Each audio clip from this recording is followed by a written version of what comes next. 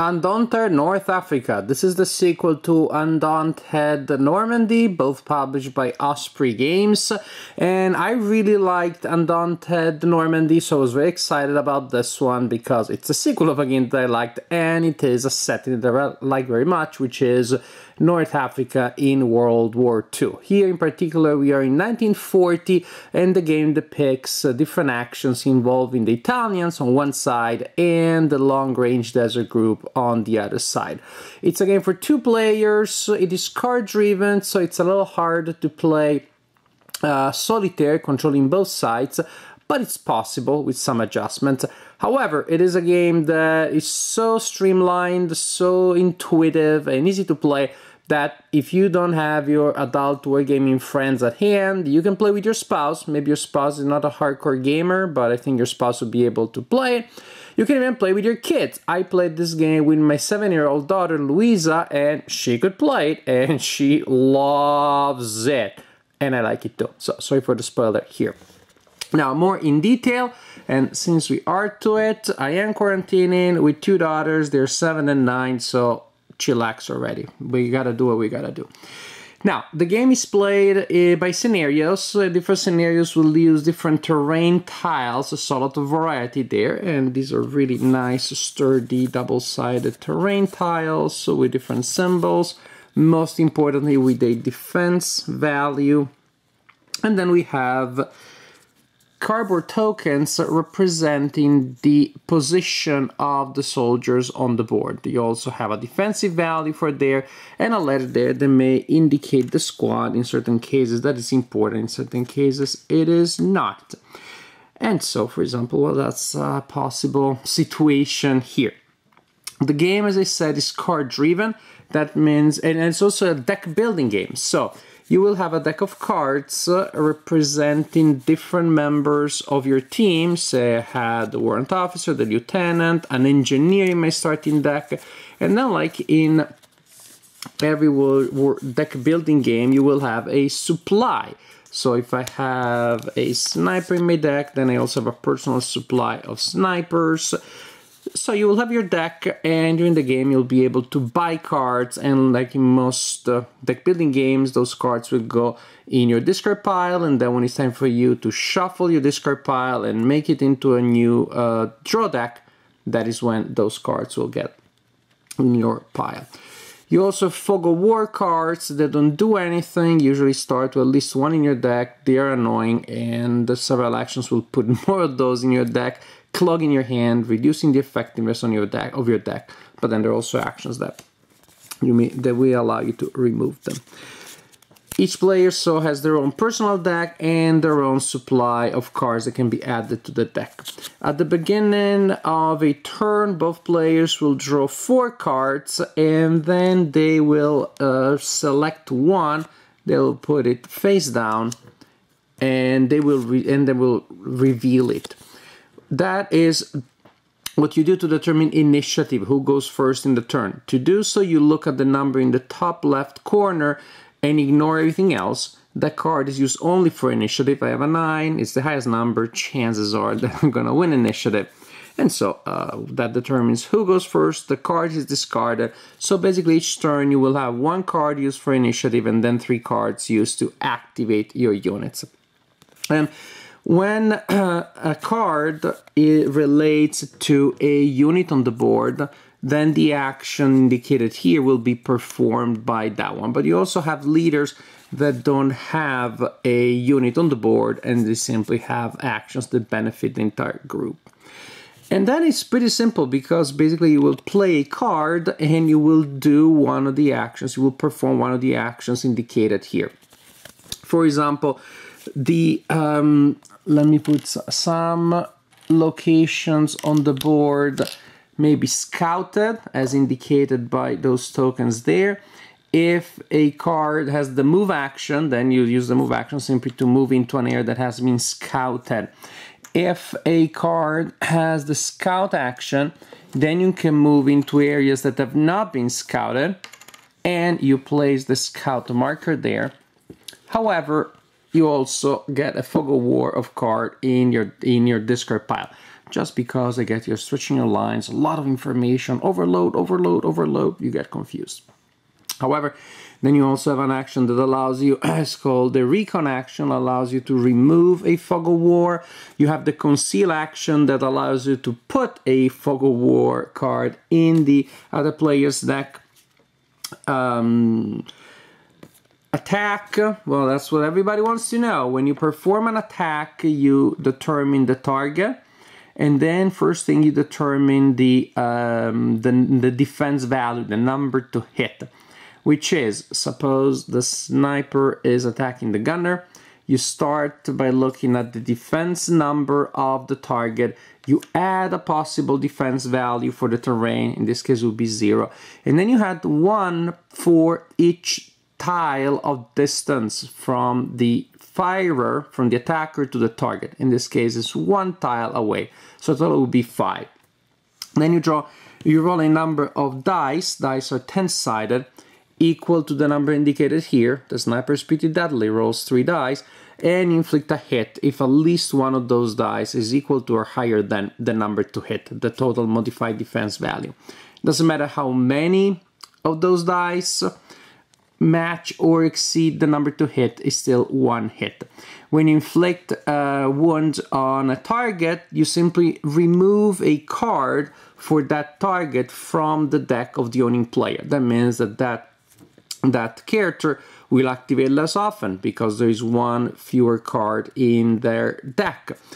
If you eliminate all cards in the hand of the opponent and the discard pile and the deck for a certain character, the character is removed from the game. And that's how you kill people, which is not that easy. Much easier it is to suppress them, which is something that some characters can do. The gunner, for example.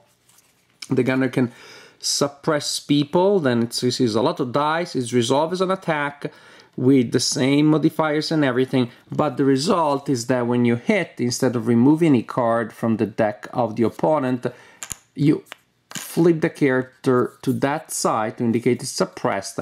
The next time that the owning player spends a card to activate the character, all that the character does is to become unsuppressed. These are concepts that you already had in the original game, the biggest difference here is that now we have vehicles, vehicles. We have a medium tank for the Italians and then we have a bunch of other vehicles. How does it work? Suppose that we have a medium tank in this scenario. The Italians have a tank. You also have plot twist people that are specialized in driving these vehicles or doing things with them because vehicles have certain slots so that will indicate the characters that are in the vehicle and different positions of vehicle will allow you to different things however you also need to have a specialty so you got a driver to drive the truck and you need the gunner to shoot guns with there and you need a crew to do suppress or repair you will then have a token that goes on the board that indicates the position of the vehicle. So when somebody attacks uh, the tank, they cannot attack the characters in the tank directly, but they attack the vehicle instead. And for that, you need anti-tank weapons. Uh, there, there's a, there's somebody who has the anti-tank, and so they have the anti tank. Other thing that you can do is to do demolition that is used to demolish things on the board uh, to achieve certain objectives. But basically, when somebody with the capability to attack an armored vehicle attacks them, then again they are firing against the uh, defense of the of the vehicle plus is usually terrain and distance.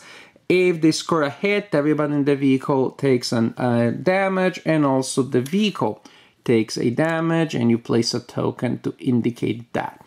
The vehicle has two values. So when the lowest value is met, then the vehicle is disabled, so you cannot do it. You cannot do anything with it, but it can still it's not destroyed yet, so it can still be repaired by using the the repair action, which uh, it's somewhere if the vehicle reaches the higher number of damage tokens, then the vehicle is destroyed and everybody that is in it bails out. you can spend actions to switch people, move people around the vehicle as opposed to exiting and entering the vehicle is a free action as part of an activation of a character. So this is the biggest, this is the biggest uh, difference that we have here. So in general, it's very similar to Undaunted uh, Normandy, but with new scenarios, new art, and most importantly, a whole new mechanic representing vehicles. Undaunted Normandy was a game that I enjoyed very much, and I enjoyed Undaunted North Africa even more because I like the North African scenario, uh, theater operation in the historical counterpart of this game, but also because, well, it's a really fun game. For some of you, maybe there isn't enough of a war game here. I've seen comments online, but this is just Dominion with a thin thematic layer with some uh, pasted on theme. If that's how you see it, that's that's your prerogative, but that's not how I see it. To me, this is a game that has substance. Sure, it simulates its topic in a light way, um, but there are some dynamics there, like the suppression, uh, the, the role of leadership, uh, the role of scouting. There's just so much information in other games, and even tactical games, in which just got just running into areas that you have never seen. Here, well, send a flipping scout first, or use a plane to use a recon action. Uh, again, the fog of war, the tempo of military operations, to me, is captured very well by the uh, deck building mechanism and by other mechanics such as the scouting, etc., etc., etc. Um, one thing, of course, uh, that seems to be more like video game than anything else is that people can be shot a couple of times, get a lot of injuries before they die entirely, before they're completely disabled. Um, but frankly, that to me doesn't doesn't bother me again because that doesn't have to be a perfect simulation. And you can also think that what is injury doesn't represent a physical wound. It represents the the soldier again losing situational awareness or effectiveness, and that's why or panicking, and that's why the soldier activates less often, not just because it was hit a couple of times and still kind of activates uh, fairly well. But again, you have so many options, so many different things that you can do uh, because each card comes with uh, with with several options, several things that you can do, and it's really fun to chain chain and combine actions in different ways. Here is the here's the scout moving there uh, getting out of fog war in the process. Then I activate the scout again to at least remove one of those. Then, uh, that I have in my hand, maybe from a previous round. Then I'm moving somebody in, uh, or I'm using a commander to get extra activations, and then the gunner gets there and suppresses somebody else, etc., etc., etc it just has so many interesting little layers. These are things that I liked in the original game and I like in this one also because it's is very similar to that one, and to me that's fine. More of the same is good if the original thing was good. And the biggest new thing that we have here, which is vehicles, they work very well. If anything else, I like I would have liked more of them. I hope there are expansions in which we have more tanks, and so we get more of a tank battle. You only have one tank, you have other vehicles, and it's still fun. I mean, this always was about individual human beings more than machines. It always was about the white of their eyes, about the suppression, about these individual struggles. So it's fine. Uh, we had that nice little addition here, which I think actually works very well. Great variety of scenarios, uh, great production values, uh, crystal clear rulebook, but most importantly, a really solid game. And one that is so simple, so intuitive that you can play with a seven year old. At least I've done that. My seven year old daughter Louisa loves this game. I sure he asked me to play it again. Tomorrow we're gonna have a game day. It's gonna be Undaunted. There's gonna be other games that they asked me to play. So it's gonna be a great game. It's gonna be a great day of of gaming, gaming, gaming, and more gaming. And I think we're gonna go through like every scenario in the rulebook, almost mo- most of them, because my daughter is in love with this game, and I'm so happy because I love it too, and I can't wait to play it again.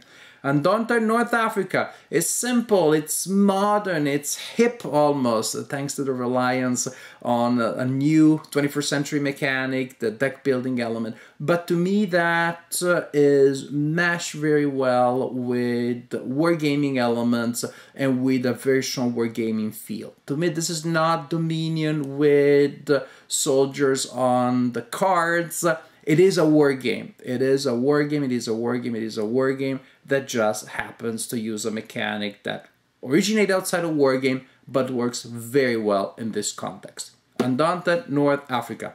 I love it.